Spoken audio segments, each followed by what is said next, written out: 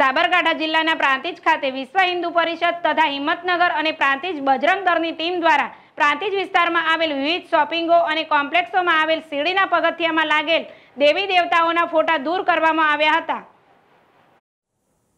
પ્રાંતિજ ખાતે કાર્યરત વિશ્વ હિન્દુ પરિષદ અને પ્રાંતિજ હિંમતનગર બજરંગ દળની ટીમ દ્વારા પ્રાંતિજ ખાતે આવેલ વિવિધ શોપિંગો અને કોમ્પ્લેક્સોમાં આવેલ સીડીઓના પગથિયા ઉપર પાન મસાલા ખાઈને કોઈ થૂંકે નહીં.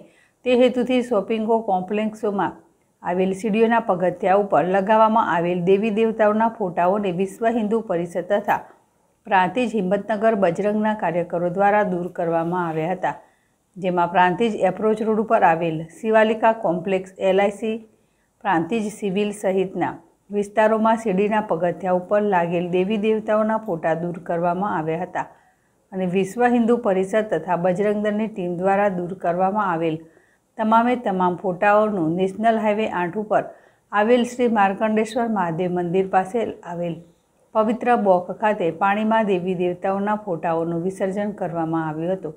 તો આ પ્રસંગે અંકિત પટેલ, નટુભાઈ બારોટ, સંદીપ શાહ, મિલન કડિયા, ભગવતીબેન, તેજસ રાવળ સહિત વિશ્વ હિન્દુ પરિષદ અને પ્રાંતિજ હિંમતનગર બજરંગ કાર્યકરો ઉપસ્થિત રહ્યા હતા.